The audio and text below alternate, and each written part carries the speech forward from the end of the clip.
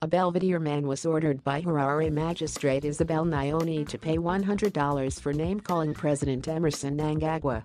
Tupewa Chirudza, a self-employed car washer at Divari's shopping center in Belvedere, Harare, on Wednesday appeared at the Harare Magistrates Courts for sentencing. On January 17, around 3 p.m., Clyde Manyam the complainant and Chirudza were at Divari's shopping center, drinking beer. The convicted allegedly started to insult Manyam. Your president is an ass who tells people to eat vegetables, Chirudza said.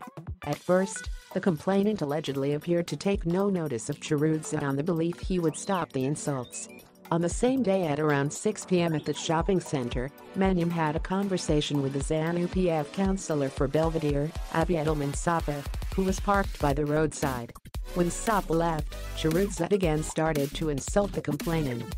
You and your councillor are asses, and your president as well as an ass, Chirudza added. It was then that Manyam proceeded to report the matter.